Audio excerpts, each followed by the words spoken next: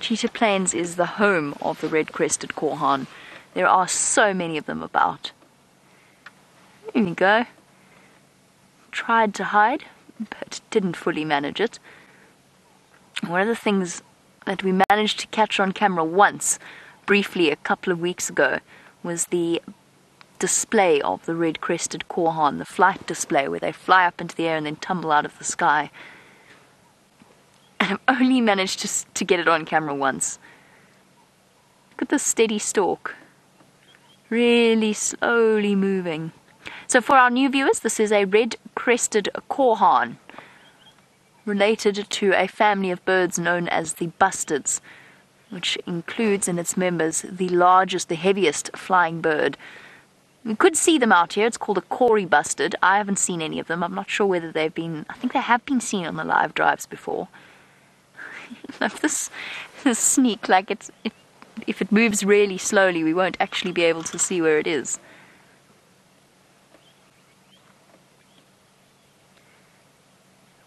Stopping to have a jolly good clean. Those feathers are so beautiful combination. I know, of course, the brightly coloured birds always get the majority of the attention when it comes to beauty, but I always find that these sort of feather patterns are also equally gorgeous to look at if you look closely. Now, the red crest sits under that sort of greyish patch on the top of his head, and you hardly ever get to see it unless they're in full display mode, trying to intimidate a rival or impress a lady. And I've only seen it a few times myself, and I've definitely never seen it on our live safaris. I've never been able to put it on camera. Oh, stretch out. And have a jolly good fluff.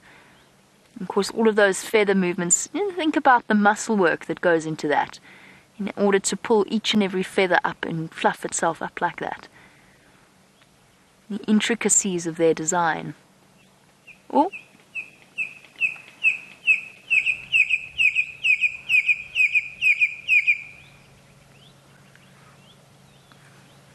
oh you know, the last time we saw a red crested korhaan do its display, it was because we sat patiently and watched it call a few times. Maybe that's what we should do now. I'm listening to see if there's a male responding, because that would be what would trigger a flight display from this bird. I'm not sure if you could hear the clicks in the beginning of that call. They have a sort of a bill snap before they go into the full whistling call. Unfortunately, I don't have my bird calls with me, so I can't call back to him. And as you know, my attempts at mimicking any of the animals out here are usually spectacularly poor. I don't think my korhaan impression is going to be enough to tempt him into doing the flight display.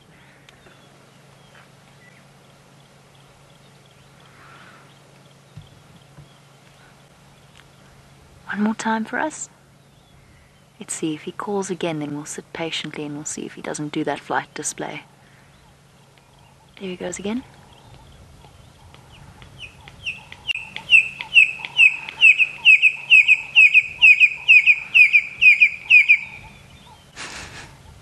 Such a pity we couldn't get the full view of his face there, because it's entertaining to watch them do their call.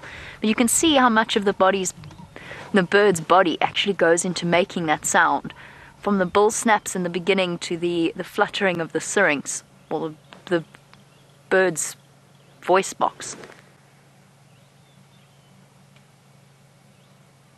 Am I imagining? I'm hearing something else.